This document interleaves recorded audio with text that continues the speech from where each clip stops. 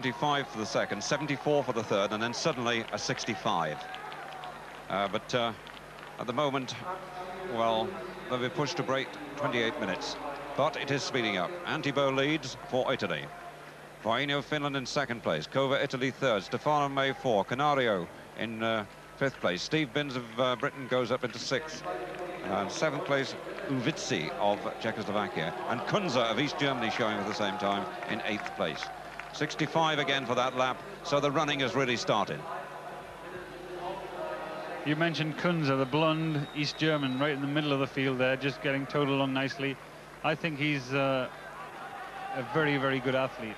And I think his placing in the World Championships, he was so close to Alberto Cova in Helsinki that uh, Cova knows that he's to, if he's going to beat him tonight, he's going to have a tremendous race on his hands because he's the fastest man in the field this year and uh, he's got a tremendous kick coming down the finishing straight in Helsinki that time. I'll never forget it. What a tremendous race it was. But uh, I think Alberto knows enough about finishing fast in 10,000 meter races to be very, very wary of people like Jörg Kunze of East Germany.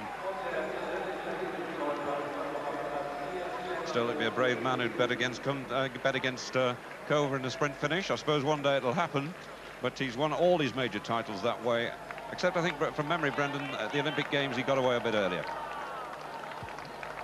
Well, in the Olympic Games, he followed um, Martti Vainio, and I, I was talking to him after that race. He said there was a four or five times in the Olympic Games where he felt as though Vainio was going to get get rid of him, drop him off the pace, which he's trying to do already. He's, he's stretching now because they run 65, 65, and then a 68 and then Vainio wasn't happy with the 68 so he went past and he started pushing the pace along.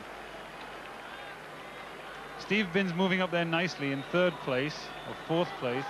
And uh, Steve's determined not to lead like he did in Edinburgh tonight. He's, he's determined just to hang in there get a ride and realize that the second 5,000 meters is really going to hurt. They're going to be pushing and they're going to be hurting each other. And there are enough men in this race to do damage to to one another. Now, this is the kind of race where, uh, apart from the physical talent and the, your physical preparation, it's all about who's mentally prepared the best. And when you look at him in third place, just coming right a couple of weeks ago with his 5,000 meter win in Zurich, um, Alberto Cova is going to take some beating.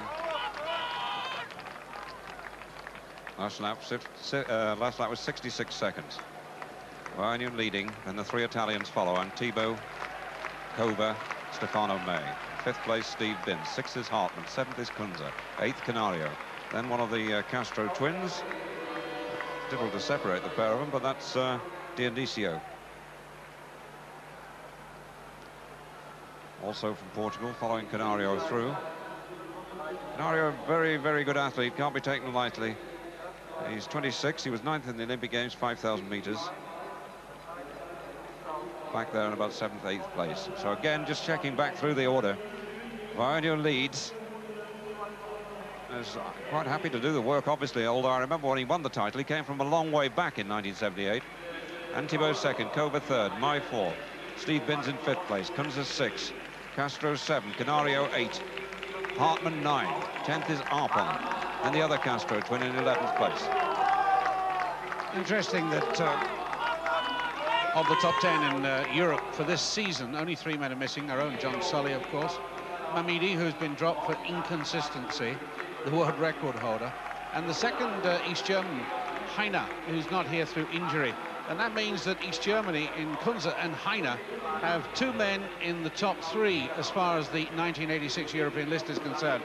And that's an upward surge by the East Germans because uh, that's not an area uh, where they've been particularly strong, although Brendan Foster is saying that uh, in Hans-Jörg Kunze, uh, the blonde 26-year-old, uh, there is quite an athlete there. Bronze, of course, in the World Championships at 10,000 metres, but a former European record holder at 5,000 metres, and that's why, there he is in the middle, that's why he's going to be a threat to uh, even Cova if it comes to a sprint finish. He's got uh, good form at a long range, 1,500 metres, 3,000, 5,000.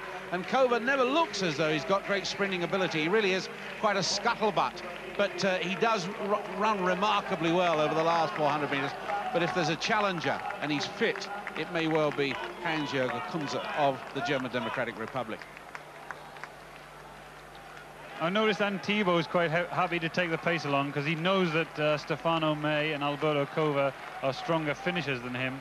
And if he's going to do anything about it, I think he would like to stretch them so that they know they've run a hard race before they actually get to the last lap. Um, and I think it's an interesting combination there. And Antibo and, and Vainio sharing the pacemaking, but they're, uh, they're moving along now and the real serious contenders are starting to take up their positions because there's no point in giving them a 20 or a 30 yard lead sitting at the back of the group. Uh, news of the other two Britons, Steve Harrison. uh, Carl Thackery. Uh, Steve Harris has just begun a forward move. He's up to about 12th place, having been back in 15th, 16th. And Carl Thackery at the moment, somewhere about 16th. Antibo leading, Vainio second, Cova third, Mei four, Binns five, Kunze six, Castro seven, Hartmann eight, Canario nine, Arpin 10, the other Castro twin 11, John Treacy 12, Steve Harris is 13, and Thackery back in 15th place. Steve Harris is an interesting character, coming back to something like form. This is a, a return from injury and a return to confidence.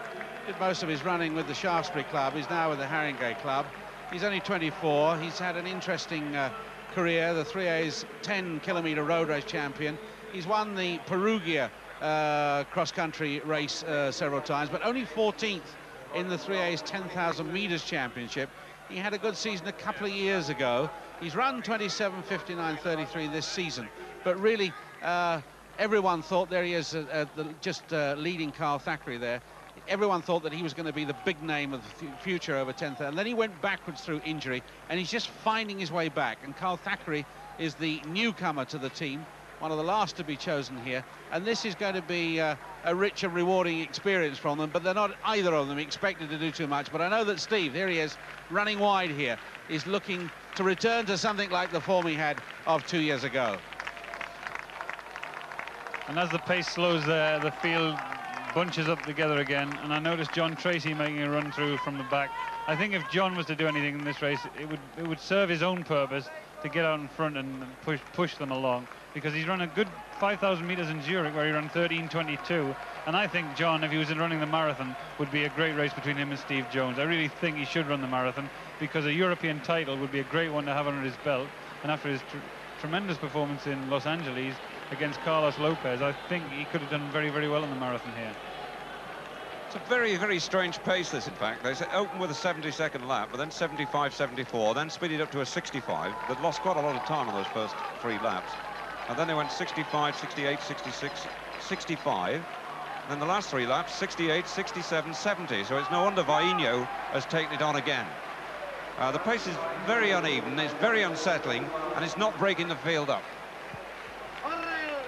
And they're often happier when the pace goes constantly fast rather than chops and changes because they're when they're in full flow, all they've got to concentrate on doing is running and running hard. And they find that easier than having to run a 70-second lap and then a 65-second lap because that upsets the, the mental concentration.